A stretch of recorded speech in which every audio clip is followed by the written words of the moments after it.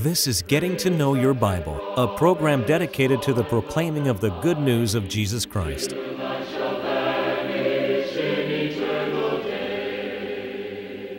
Here's Billy Lambert.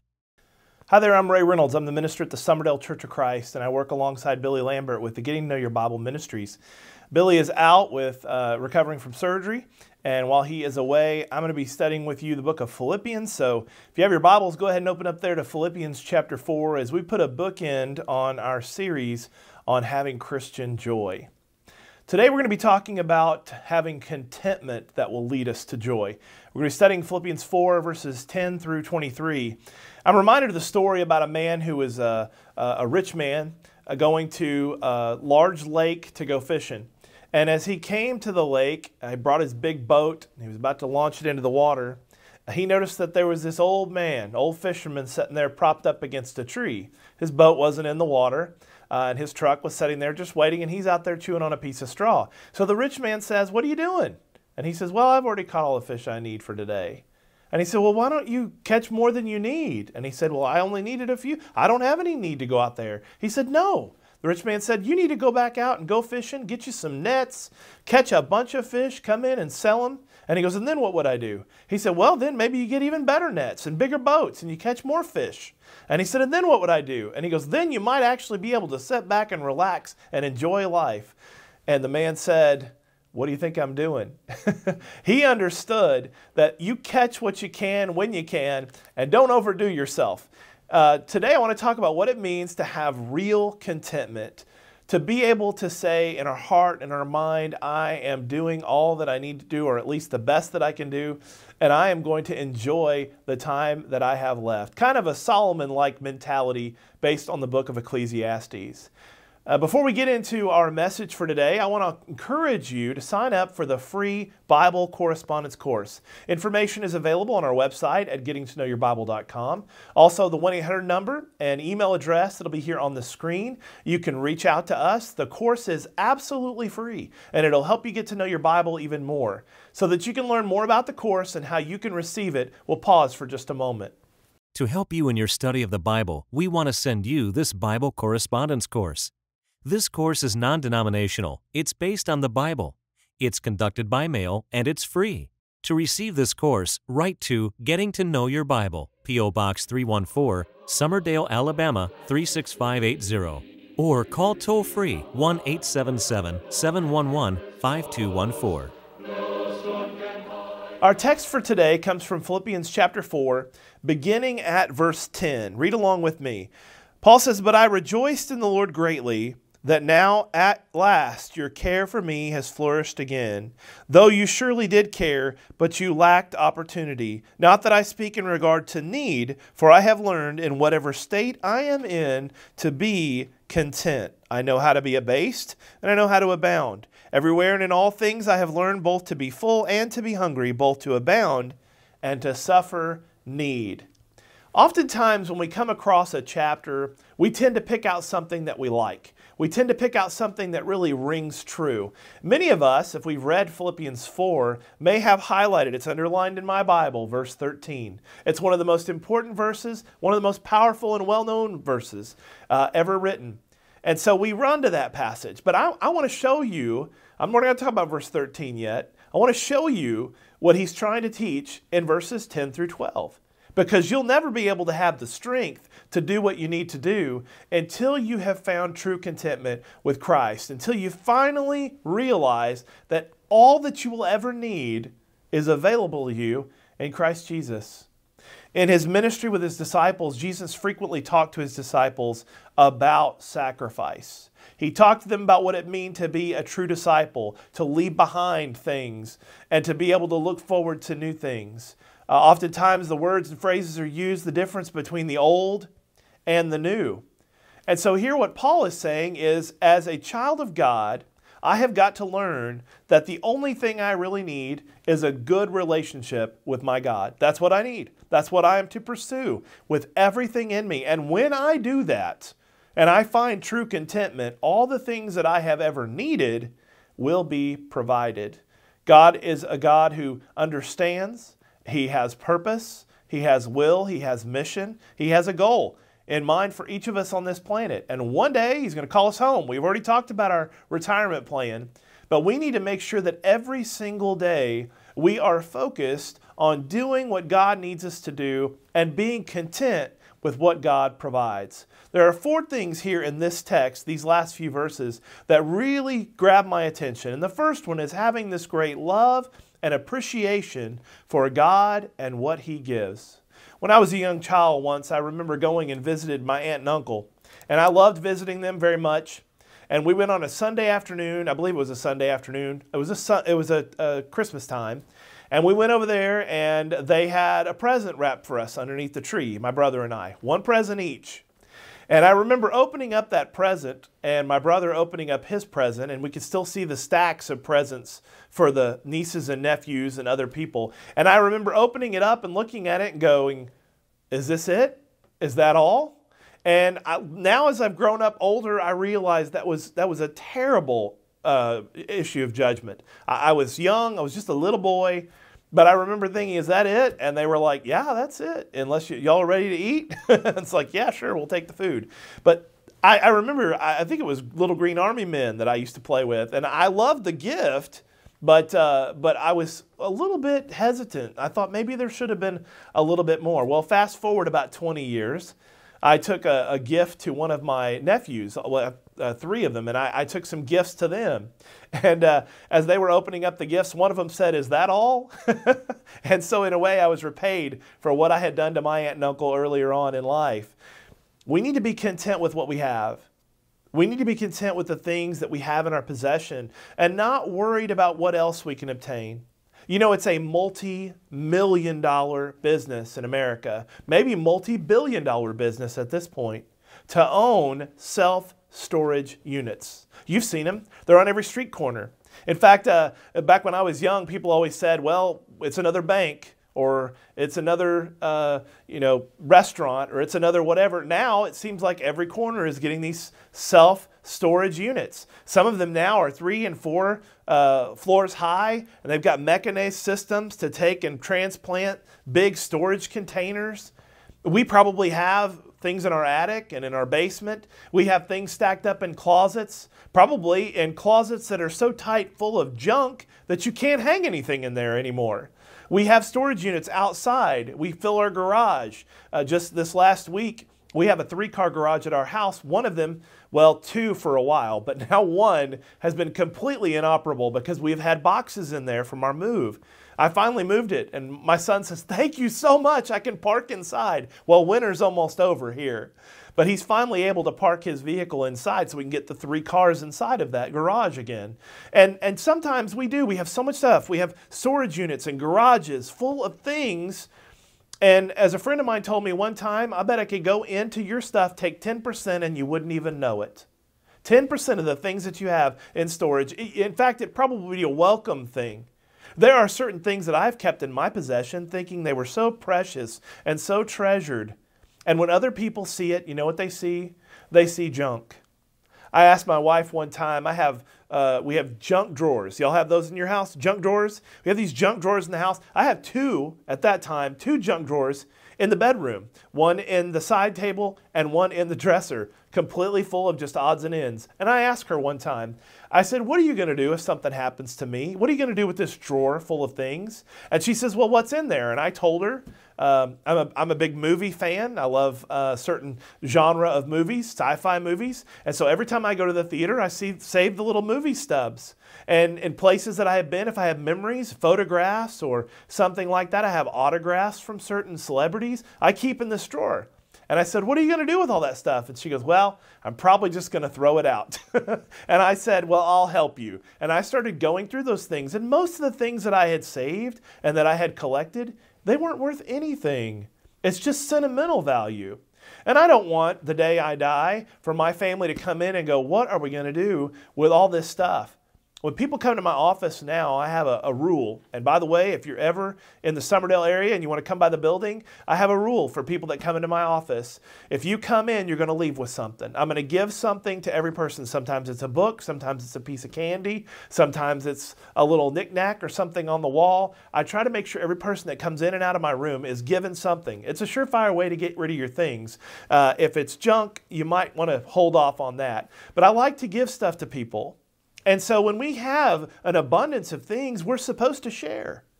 And we can't really appreciate the things we have if we have so much stuff. We need to learn to be content. And one of the ways to contentment is to have this love for God first. Matthew 6:33 seek first the kingdom of God and his righteousness and all the things you need will be added to you. God provides. He gives the things we need. Our problem is not the needs being provided for, it's that we have great wants. We want something so badly. In many cases, people will do anything to get what they want, and that's extremely dangerous. And as a Christian, may it never be said that we were uh, supremely needy and in want of things all the time. We should be happy and content with what God has provided. Keep reading with me in beginning of verse 13.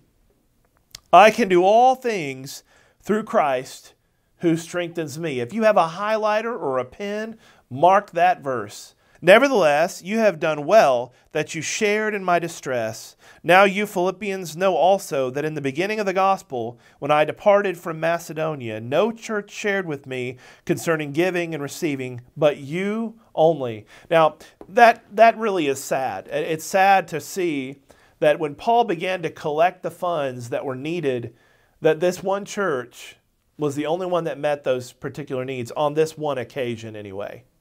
Paul is talking about being, uh, being given that Macedonian call. Remember in chapter 16 when he goes into the city of Philippi and he ministers there uh, to the people and converts Lydia and the Philippian jailer and others, that he was there going about doing good, preaching the gospel. And he had that Macedonian call. He knew he needed to be there teaching and preaching to these Gentiles. And while he's doing it, he says that collections were needed to give to those uh, that he had ministered to. And here he says, You were the only ones. You know, you tend to remember the people that are good to you. You tend to remember the people that were there for you all along, and it blesses you to know that there are people who always have your back.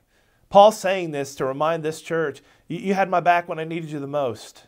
When I was in a dire situation, you stood with me when I travel to different places and work at different places, I know the churches that have supported me prayerfully and financially, and I am grateful for that. We are grateful for, for anything to help the work of the kingdom of God. And so when people help us, we, are, we, we have a tendency to just praise, thank you, thank you, thank you, thank you for those particular blessings. And this is what Paul's doing. Thank you, thank you for giving what you did. And so there's this great love. But their offering was not just out of love, it was also out of faith. They knew that Paul would use that money for the appropriate reasons. They could trust Paul. You need people in your inner circle that you can trust. You need people that you can share things with and know that it will be used for the exact cause.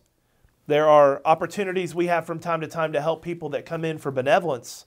And at our church family, we, we try to help people and be benevolent as much as we can. But there are many times people come in and take advantage and they don't use the funds for the right possible reasons. And that's hard. It becomes, it's a challenge for us as Christians because we harden ourselves if we've been burned too many times. Somebody comes to us and they say, I need help, and you help them, and then they don't use the funds you help give them to help with, and they use it for something else. You become hardened to it. Now, like for instance, when you let people borrow things, I've borrowed things before and I take it back. I try to keep it in good condition. But many times people have borrowed things from me and they haven't returned them. And that, that makes you a little frustrated. You say, Well, I, I loaned it to you. But yet Jesus reminds us that when we loan, we shouldn't expect it back in return. We should just expect that at some point God is going to bless us for whatever we may happen to lose. And you know, God is so good and provides so much that if our worry is about stuff and our worry is about things, then we really have got the wrong mindset. Going back to what he's already told this church, have the right mind, have the mind of Christ. There is nothing on this earth that you can take with you. Nothing.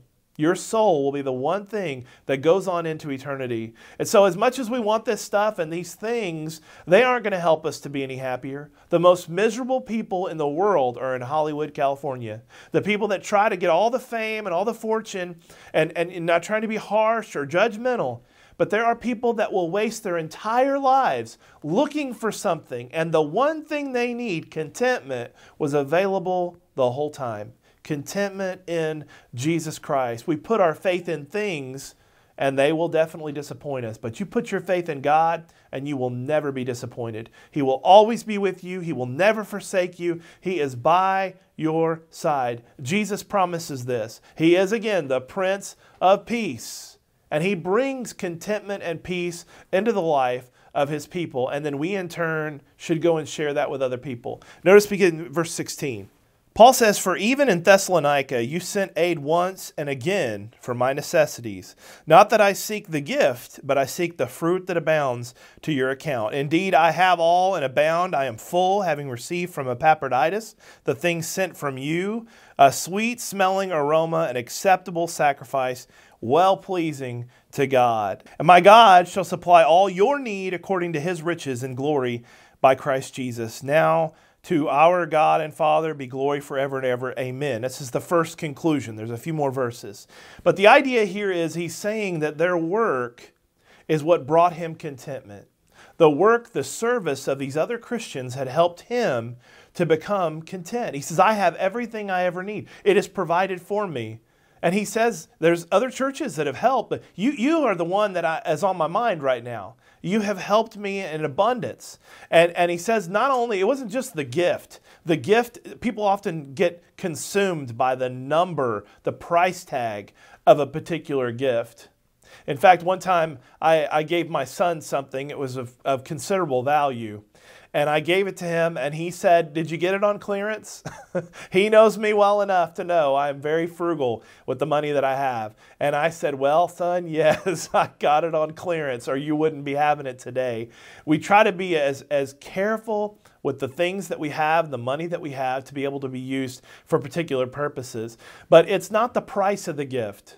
Paul says it's not how much you gave, it's the opportunity that you took to use your time, your energy to provide this gift to me. And, and clearly, uh, as he talks to these Philippians, he says, even in the beginning, you know, when he was with them, he saw them giving.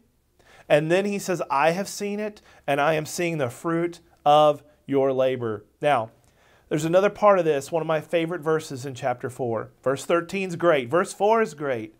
But I want you to listen again to these last two verses that I said at the end of this little section with the first conclusion. He says, My God shall supply all your need according to his riches and glory by Jesus Christ. If you were to come to me and say, I, I need some help, I need some finances, I'm limited on what resources that I can give. And people that are around you, they're limited on the resources they can give. Many of us as parents, we have given to our children over and over and over again. And they, they, it's almost like they expect more provision, but there will come a time when we'll run out. Money runs out, time runs out. But our God has supply houses, storehouses, overwhelmingly full of blessings. Jesus will tell his disciples, and James will repeat something similar in his letter that God supplies because you ask. You don't have it because you don't ask for it. God has storehouses of blessings waiting to bestow. I wonder when we get to, into eternity and get to heaven and we have conversations with God, if we might ask, why didn't you answer this prayer with an affirmative yes? God knows why certain prayers are not answered, mainly because we probably couldn't handle it. We couldn't handle the request if it were granted. As an example, I had a lady ask me one time, she said, How is it that I continue to ask for financial help from God and I ask for money and He doesn't provide? And I said, Well, maybe it's because He knows you better than you know yourself. He knows that you would use that money and squander it quickly and you would not save it. You would not use it for the Lord's work. How many of us, as a matter of inspection of our own hearts, If we were to be given a million dollars in cash, how many of us would give every penny away? Many people wouldn't because you're thinking about the, the mortgage on the house, you're thinking about the loan on the car, you're thinking about college education, you're thinking about your own student loans, you're thinking about uh, all these things that you want and you need. And I could finally maybe go get that other toy that I need, that other item that I want. Maybe the reason why we're not given more provision from God is because He knows we would abuse it. Now, there's enough people in this world that abuse the blessings of God. Why tempt and struggle with His children doing the same? So, when we are given something, we, like the widow with the two mites, we give as much as we possibly can. We want to help people as much as possible. You say, well, Brother Ray, I don't have financially the resources to help a lot of people, but you do have wisdom. You have experience, life experience. And the experience that you can share the things, the wisdom that you can pass on to others is much more valuable. And let me tell you, the most valuable thing that you can provide to people is your presence, just being with them.